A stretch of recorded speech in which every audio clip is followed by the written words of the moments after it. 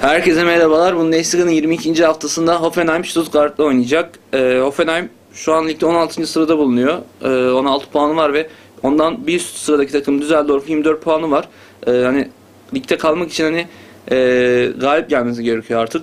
Ee, hani daha 13 hafta olmasına rağmen başlaması lazım Hoffenheim'in e, bir seri yakalamaya. Ee, Hoffenheim'in hani son maça baktığımız zaman, son iki hatta maça baktığımız zaman e, hep solma zafiyeti var diyorduk. Bunları biraz aşmış gibi gözüküyor. Yani geçen hafta sadece bir gol yediler ama hani bu sefer hücumda biraz sıkıntı gösterdiler.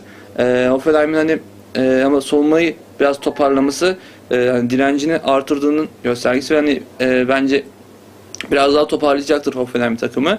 E, Stuttgart hani ilk yarıya çok kötü başlamışlardı. Devre sonunda toparlamışlardı. E, şimdi ikinci yarıya da çok kötü başladılar. E, şu an 14. sırada 25 puanları var.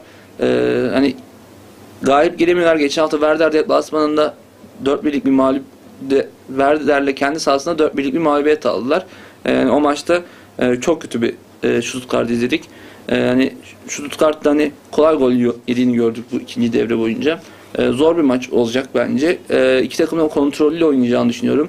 O yüzden de hani taraf bahsinde kararsız kaldım. Hani Hoffenheim kazanabilir gibi gelir ama benim bu maçtaki sizlere önerim alt olacak. 2.5 gol barajının geçeceğini düşünmüyorum bu maçta.